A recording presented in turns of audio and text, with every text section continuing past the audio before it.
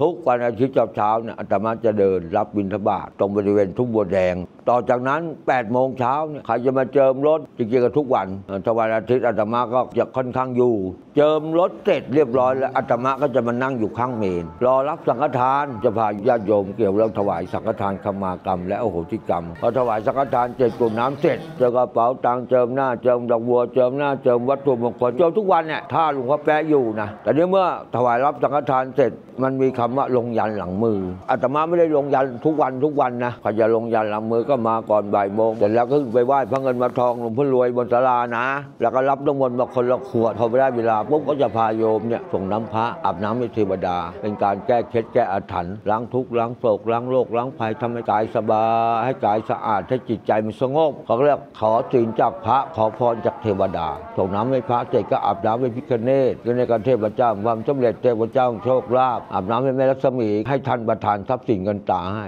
อาบน้ำให้ละลายนาคราชก็เปรียบเสมือนให้ท่านมาปัดทุกปัดโศกให้เราอาบน้ำให้แพะชาวฮินดูนะเขาจะมีคำว่าแพะรับบาปก็ยื่นมือไปเอาน้ำเทไว้ในมือ เอาเสยหัวรอเวลาที่จะลงยันหลังมือ เปิดฟ้าเปิดดินเปิดเมืองบาดาลเปิดโชครับทรัพย์เปิดทรัพย์รับโชค เปิดเส้นวัฒนา อันนี้ก็คือว่าอาตมะจะประกอบพิธี เกี่ยวกับเรื่องแก้ได้กันได้และเสริมได้ ลงยันหลังมือ พิธีของวัดสว่างด้วยความรักเคารพ